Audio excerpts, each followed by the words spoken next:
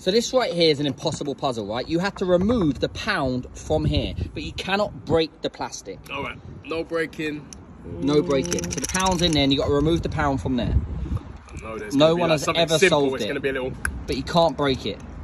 And that is a solid pound. It can be your Yeah, pound. yeah. Woo. Yeah, yeah. He's trying. He's trying. He's trying. Mm. It's hard, isn't it? Come on, man. I want the cheeseburger, man. 99p. Try and do it. Try. Got these cheeseburgers. Think Oh, about it, think about it. All right, all right. I don't know. It's, It's gonna kind be I know it's gonna be It's something like easy. All it is, bro.